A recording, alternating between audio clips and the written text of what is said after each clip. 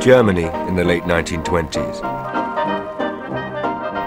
Music, theatre, cinema, cabaret. Enormous energy eaten up seeking serious pleasure.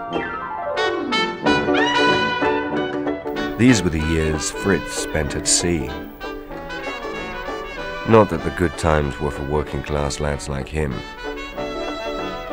Meanwhile, Hitler saw the nightclubs and found them shameful.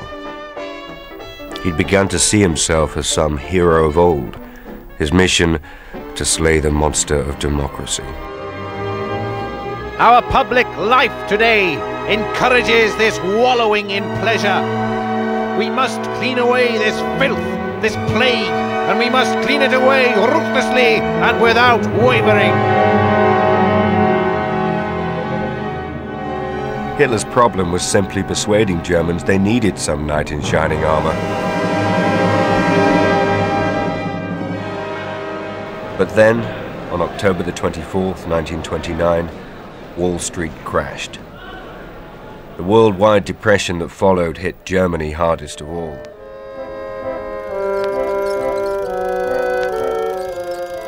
With some satisfaction, Hitler realized his day had come such contentment.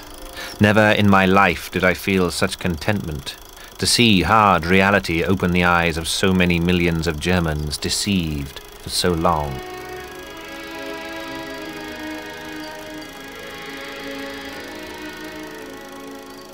In three years, German production halved. Thousands of small businesses collapsed. Unemployment rose to six and a half million. 17 million, a third of the population, was supported by the dole. I just got back from sea, laid off. It was terrible. You looked around at all that misery. Men just hanging around on street corners. Queues down the labour exchange, you thought, this is hopeless. I won't get a job. those in work had had their wages cut. It was just depression everywhere. What is it? Horse. Just total depression. And it wasn't just the workers. I mean, those with money and savings, middle class folk, you know, they were frightened they'd lose everything.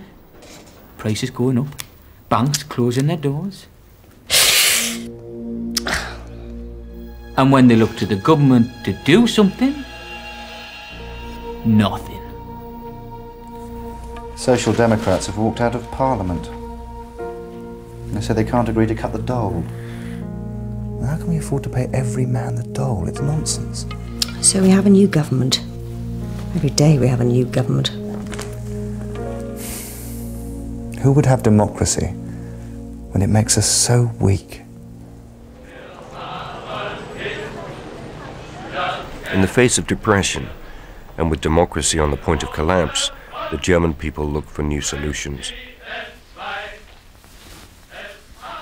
In working class areas where the poverty was worst, the communists attracted six million new members.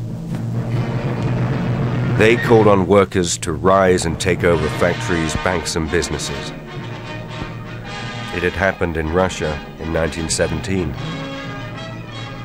the Russian middle classes, factory owners, bankers, landowners, had been wiped out or forced to flee abroad. The years since prison had changed Adolf Hitler. No longer the shuffling figure of the early newsreels. Now he was uniformed, impressive. Policy had changed too. No longer to seize power, but to win votes legally.